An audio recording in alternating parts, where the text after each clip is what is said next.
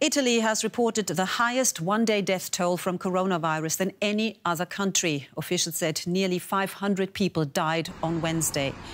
Videos posted on social media are said to show military trucks in the city of Bergamo preparing to transport the dead to nearby cities. Mortuaries and crematoriums in Bergamo have run out of space. Medical teams from China have arrived to help authorities fight the virus. The governor of Italy's hardest hit region made this appeal to medical students and retired healthcare workers. I want to appeal to all of these doctors and nurses. Make yourselves available and lend us a hand in these trying times. In my opinion, through the cooperation and availability of these professional health workers, we can find important answers to the challenges we face.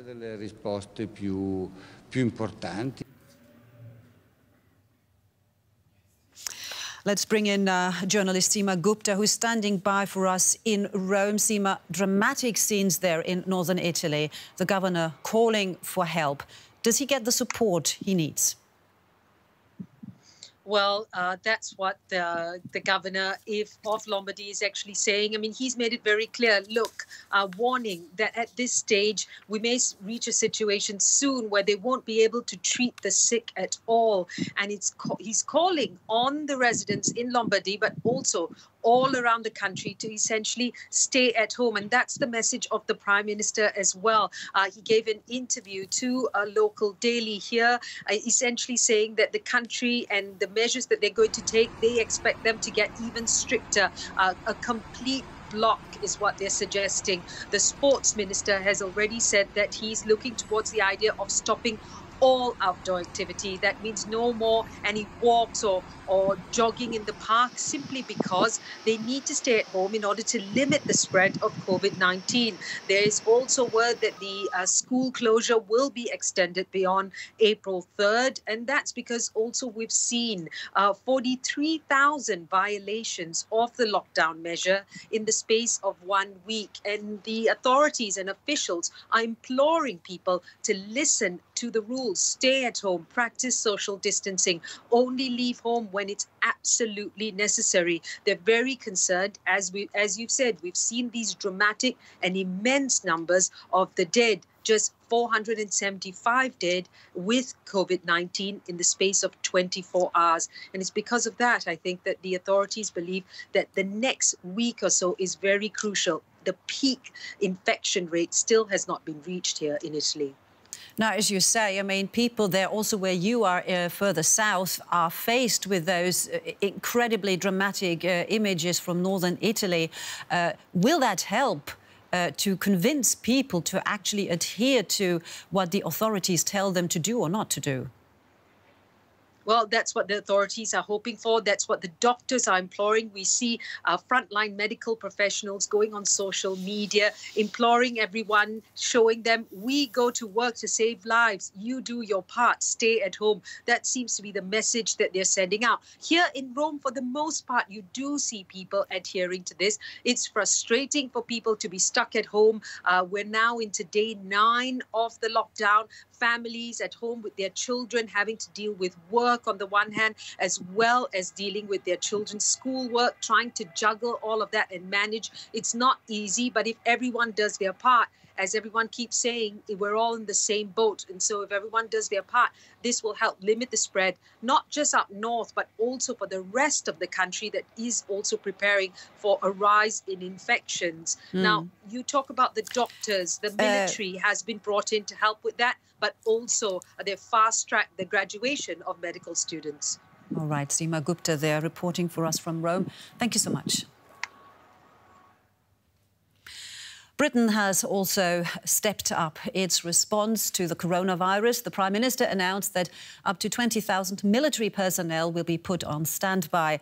The United Kingdom is bracing for the stringent measures that will come into effect on Friday. In addition to schools, dozens of underground stations will be closed. Other public transport services will also be reduced. The government has advised people not to go to pubs and restaurants, though an official ban is not in effect. Let's cross over now to London, where DW correspondent Birgit Maas is covering developments for us. Birgit, London, of course, is a big, huge city, and it's now facing strict containment measures, which the military could help to enforce. How are Londoners coping? Well, there is a sense of doom, I would say, across London because I think a lot of people are expecting this to get even tighter and maybe uh, into a complete lockdown. At least this is the speculation in the media and on social media. So we might really see Londoners being confined to their homes. And what you see at the moment is that people are trying to go and shop as much as they can. So if you go into the supermarket in the afternoon, the shelves are really, really empty because people are expecting that there will be shortages in the future. Of course, the authorities are saying it's because the demand is so much. It's not that there is no supply of essential items like toilet paper or even food. It's because people are buying too much and they should stop it. But at the moment, it doesn't seem that uh, people are adhering to this advice because people are frankly very nervous of what's to come. All right. Well, people not following advice, we've seen that across Europe now. And as of tomorrow, schools all over the country will be closed. Did Prime Minister Boris Johnson take this step too late, perhaps, as his critics claim? Yes, there has been a lot of criticism towards uh, the government. There was, for example, the uh, editor in chief of The Lancet, a, a, leading medical paper, and he has urged for weeks almost to look at what's happening in other countries, look at what's happening in Italy, and just act earlier and be tougher. Now, the school closures come fairly late. Only uh, in effect as of tomorrow, even though some schools have already closed now uh, voluntarily. But officially, um, as of tomorrow, the schools will be closed the children of, of public health workers, uh, of health workers, and of, of other people who are necessary for the infrastructure, for example, food delivery, they um, will be able to go into some schools, so there will be some sort of provision. But it's coming fairly late, and a lot of people, hundreds of scientists, in fact, have uh, urged the government uh, over over the weekend to to be strict. And yes, uh, now finally it is happening. Oh, All right, Birgit Maas, the reporting in London. Thank you. Here in Germany, Chancellor Angela Merkel has addressed the nation in an unprecedented televised speech, saying the country faces its biggest challenge since the Second World War. This, as the country's top disease control official warns that Germany could be dealing with 10 million coronavirus infections in the coming months if its citizens don't adhere to measures outlined by the government. Berlin's most famous locations should be bustling with tourists at this time of year, but due to COVID 19, they are currently surrounded by empty streets. It's also highly unusual for a German chancellor to make a televised address, but Angela Merkel said these are extraordinary times. And she urged all citizens of Germany to seriously consider their own obligations to society. The situation is serious. Take it seriously. Since German unification, no, since the Second World War, there has been no challenge to our nation that has demanded such a degree of common and united action.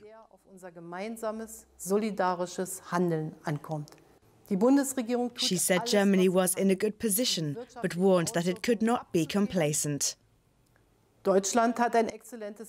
Germany has an excellent health system, perhaps one of the best in the world. We can take some confidence from that. But our hospitals, too, would be completely overstretched if too many patients with a severe corona infection were to be admitted in a short space of time. People in Berlin have been waiting in long queues to be tested for the COVID 19 virus. And there have been reports from other states of people having to wait in lines for long periods before they were finally tested. Across the country, Germans are having their nerves tested New border regulations on the Polish border are causing massive traffic jams as far as the eye can see. In many places, authorities have begun extending police patrols to enforce new regulations on which shops are allowed to remain open. Cultural establishments, schools and nurseries are supposed to be closed, along with most non-grocery shops. Our officers are on patrol around the clock with two groups of 100 each. In addition, we have undercover police officers, and their only mission is to enforce the regulations. So far, the German government has resisted placing a nationwide curfew, such as in Spain, France, and Italy, but that could soon change. Countries, including Germany, are stepping up preparations to avoid the kinds of scenes that have been playing out in the hospitals of northern Italy. DW has been looking at the measures being taken in Berlin to ensure a large number of patients can be treated if and when the situation arises. A new hospital is being erected at an exhibition centre in Berlin, one of Germany's latest measures to tackle the pandemic. It's supposed to be able to treat a thousand people, set up with the help of the German army. In case we have shortages, we want to be able to avoid having serious bottlenecks by having something up our sleeves. A clinic which still has capacity. This is just a precautionary measure. The infection rate in Berlin is growing. Maybe this extra capacity might not even be enough.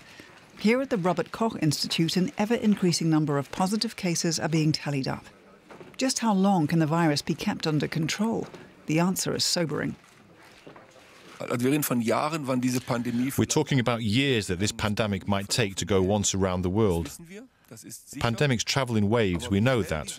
But how quick these waves are, and when these waves that we're speaking about come, where 60 to 70% of the people around the world will become infected, that will take years. In my view, I'd say two years.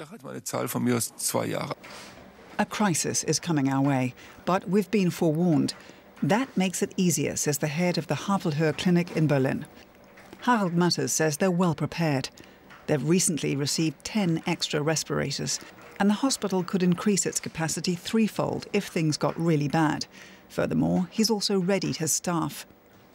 We've also retrained anaesthetists and doctors from other specialties who haven't done intensive care duties for a long time now, so that we've managed to get a further 20 to 30% extra backup in personnel.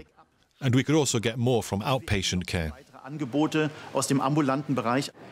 The daily numbers show that up till now, there hasn't been a single person with the coronavirus ending up in intensive care there. However, it's obvious that things won't stay that way. Statistics just in show what individual hospitals across the country can handle and where beds are available. That probably couldn't have come at a better time. In fact, the head of the German Hospital Federation says there's reason for both caution and reassurance. Findings show that about 15% of patients become so sick that they have to be treated in hospital. 4% of patients, in fact, then have to be treated in intensive care and put on ventilators. Furthermore, the government has planned that in extreme situations, even hotels and rehab centres could be transformed into treatment areas if there's a bed shortage. What could be a major turning point in the drive to contain the coronavirus? On Wednesday, China, the epicenter of the original outbreak, reported no new local cases of the infection for the first time since it began recording them in January.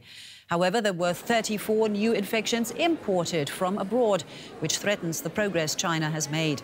Beijing imposed stringent restrictions on travel and movement in an attempt to prevent the virus from spreading. The total number of confirmed coronavirus infections in mainland China stands at almost 81,000. Now, Taiwan has managed to keep its infection rate far lower than neighbouring countries, despite its proximity to China, where the coronavirus originated. Weeks ago, the island was expected to become the second worst hit region after China, but that didn't happen. So, what did Taiwan do to change the narrative? And how is it coping with the ongoing pandemic? DW's Phoebe Kong sent us the latest from Taiwan.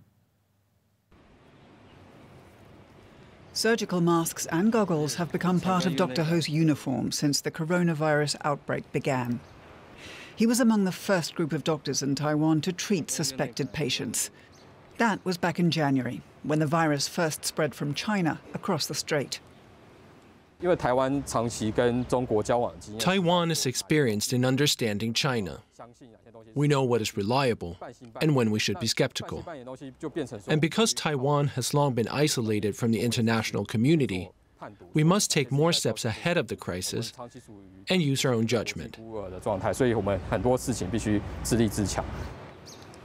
This is where he ended up sleeping. A dormitory next to the hospital, set aside for medical staff like him. For Taiwan, Vigilance is the treatment for a disease with no cure. It was hard to identify misinformation at first. I was scared of spreading the virus to my family. I think this has to be a collective effort. If each of us takes very strict precautions ourselves, it eases the burden on the healthcare system. Other than medics and military, students and teachers at high school level and below are now banned from overseas travel. Foreigners are denied entry. But containing the virus is not only about border control. Communities have found themselves on the front line. District officer of the local government, Gary Kwan, monitors individuals under 14-day home quarantine. One of his duties is to take care of their daily needs, such as delivering fresh food. We hope to make it easier for quarantined people to stay at home, to reduce the risk of contagion. If anyone leaves the apartment, we'll be alerted by text message and call the police. He or she may be fined. Quarantine in Taiwan may feel service-based, but it's also stringent. Individuals are under surveillance. Telecom providers are cooperating to enable the government to track people via their mobile phones. Health officials believe technology helps contain concern and prevent panic. One example is the face mask rationing system, where people can place their order and check availability online. New technology helps us to systemize containment policies in a transparent way. It helps the public build up a sense of trust in the government because they're well informed about the situation. Taiwan's next step is to broaden its testing regimen.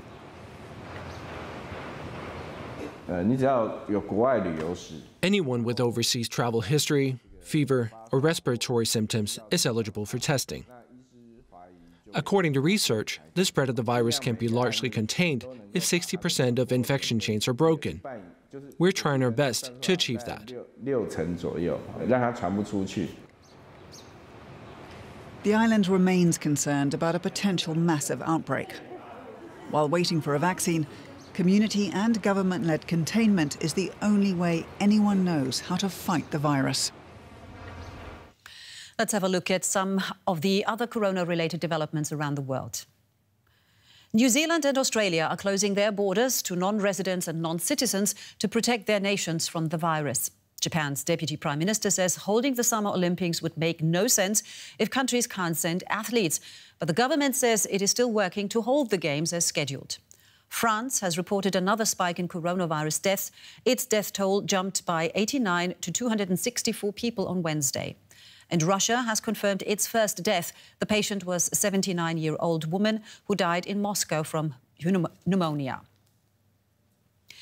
The European Central Bank has announced a 750 billion euro bond buying program to help stabilize markets reeling from the fallout of the coronavirus outbreak. It's just one of many stimulus plans announced by policymakers across the developed world. However, investors are still uneasy and stocks keep tumbling.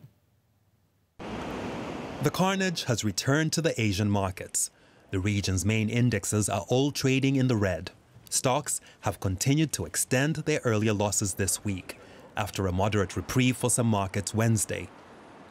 Investors in Asia appear to be taking cues from Wall Street.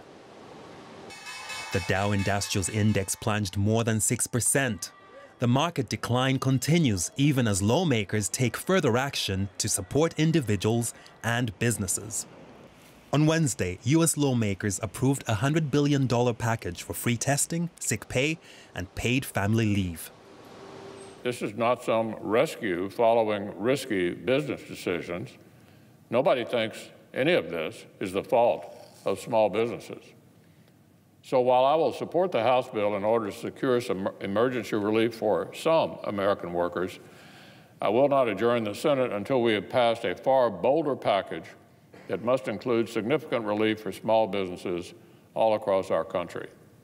And across the pond, European policymakers also announced further stimulus measures. After an emergency meeting Wednesday evening, The ECB says it's setting aside 750 billion euros for bond buying to help ease the effects of a COVID 19 pandemic. Still, markets are falling. Investors are not convinced by the efforts of lawmakers. DW's Chelsea Dulaney keeps an eye on the Frankfurt Stock Exchange. Uh, Chelsea, so far, no aid package has managed uh, to lift the markets. Is the ECB stimulus going to make a difference? Well, this is obviously extremely necessary to keep money flowing to governments and, and to businesses within the EU. We did just see the DAX open uh, in a very volatile trade spike a bit higher, but uh, I think investors are, are, asking the question can any uh, package from a central bank, from a government, really do that much to offset the impact of this enormous economic shock we're facing? The ECB has estimated that growth uh, in the EU could contract by 5% this year. JP Morgan has estimated that U.S. Uh, growth could fall 15% in the in the second quarter. Uh, so against that, these packages can cushion the blow, but it can only really offset a little bit of the of the damage that we're seeing. And I think investors are, are really trying to settle in for a longer period of volatility. One trader has called this uh, sort of like the panic buying we're seeing in grocery stores, where investors are just selling everything mm. and trying to hoard up on, on cash. All right, Chelsea Dulaney in Frankfurt. Thank you so much. The CEO of Lufthansa has warned that the coronavirus is jeopardizing the future of aviation. Carsten Spohr said governments may need to save the entire industry from the fallout of the pandemic. He added that Europe's largest airline is in good financial shape for now. International industry group IATA estimates up to $200 billion are needed to help cushion the blow of the outbreak.